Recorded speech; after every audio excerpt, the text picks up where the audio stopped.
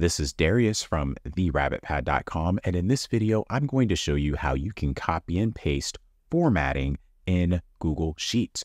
Here I have a spreadsheet and I have employees income from 2023 in one table, and then I have employee income from 2024 in one table.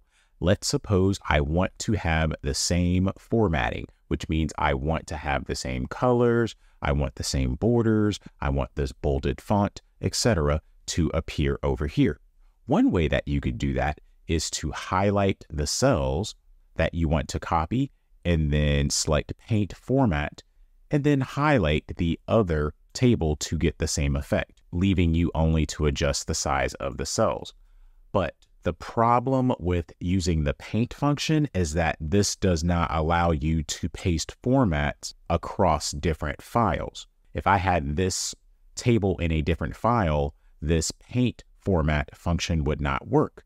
However, you can use the traditional copy and paste to copy the format.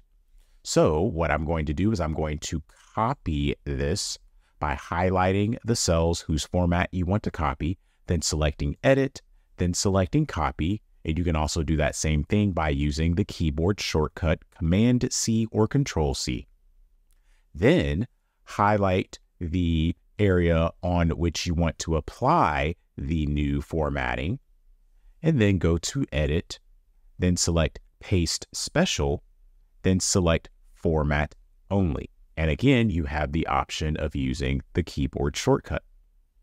When you do that, that formatting is copied similarly to how it's copied with the paint format. But again, the difference is that if you are wanting to copy the formatting from another file, this is the way to do it.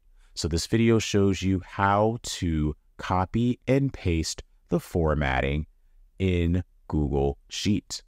If you found this video helpful, please click that like button and subscribe to this channel to view more helpful videos in the future. Also, please be sure to visit my website at therabbitpad.com.